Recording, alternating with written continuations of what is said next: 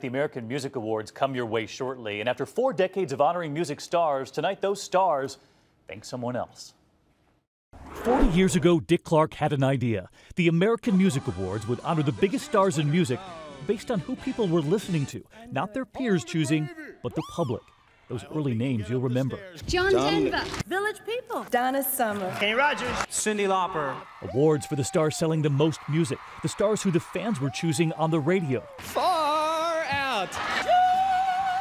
Anyone who tells you this isn't great is a liar. First year 1972. Dick Clark with Johnny Cash here in this image, his wife June Carter Cash, their son John holding the trophy. The one and only Michael Jackson. Diana Ross introducing Michael Jackson in 1984, an award winner year after year. Here with Clark before rehearsals for the show. The stars were connected to Clark, Gloria Estefan and the Dalmatian she gave to Clark as a puppy. He brought the dog that year so Estefan could see how much she'd grown.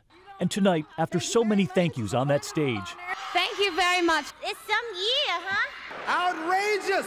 tonight they'll say thank you to Dick Clark. Stevie Wonder, who won 11 times, Thank everybody very much. Will perform again tonight, providing the soundtrack for a thank you to the man who gave the fans a say in which stars would win on that stage.